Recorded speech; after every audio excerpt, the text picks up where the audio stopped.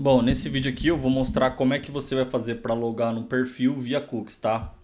É, então a gente manda sempre no perfil aí que o pessoal compra da gente, a gente sempre manda um arquivo, login, senha, acesso ao e-mail e manda os cookies também do arquivo, né? Que geralmente é um arquivo é, é um arquivo que tem a senha aqui, eu tirei, claro, e os cookies, tá? Então daqui para baixo, esse código aqui são os cookies, tá? Então a primeira coisa que você vai fazer, você vai vir aqui no Google, vai digitar Dolphin Anti, tá? Para você baixar esse aqui, ó, primeiro site. Isso aqui é o aplicativo que a gente usa para é um antidetector, é um antidetector de, de browser, ou seja, ele vai isolar os perfis, tá? A, até 10 perfis é grátis. Então você vai vir aqui, download, vai baixar ele, vai clicar aqui, vai baixar e vai instalar na máquina. E também precisa ter uma conta. Então se, se você não tem conta, você vem aqui nesse Sing Up e cria uma conta aqui, tá? E-mail, senha, isso aí tranquilo. Depois você criou e baixou e instalou, você vai abrir ele, ele vai abrir uma tela igual essa aqui, ó, tá? Então você vai vir aqui no maisinho e vai digitar o nome do arquivo do perfil para você não se perder depois, tá? Então você pode colocar aqui perfil 1 e o nome do arquivo. Clico aqui em gerar nova fingerprint e dou um create.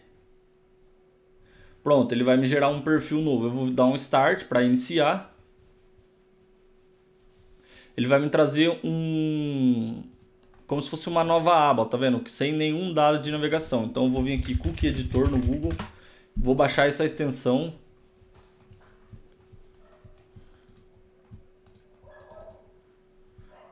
Instala ela, baixa, depois você vem aqui e acessa facebook.com. Aí você vai abrir aquele arquivo que eu falei, com os cookies, você vai copiar tudo. Vai vir aqui no Cookie Editor, importar e cola aqui. Clica aqui em importar, ele vai mostrar que foi criado. O que, que eu venho aqui? Venho aqui e atualizo a página. Pronto, eu já estou logado no perfil, tá? Esse é o método mais seguro e é o que eu recomendo. É, pode ser que alguns perfis venha em outro idioma, tá? Então, para você trocar o idioma, você pode vir aqui em configurações,